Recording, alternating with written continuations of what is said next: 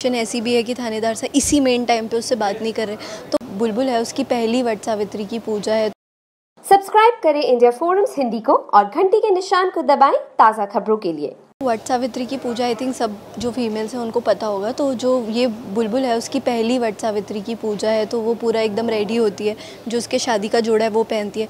लेकिन वहीं थोड़ी सी सिचुएशन ऐसी भी है कि थानेदार साहब इसी मेन टाइम पे उससे बात नहीं कर रहे। तो वो अपना कुछ तिगड़म विगड़म लगा के वहाँ पर उनको ले आती है और वो पूजा अच्छे से फिर वो दोनों करते हैं। और भी बहुत सारे ट्विस्ट एंड टर्न्स हैं उसके बीच में। वो आप एपिसोड्स में देख वही तो मैंने कहा कि वो आप एपिसोड्स में देखना बहुत सारे ट्विस्ट एंड टर्न्स हैं।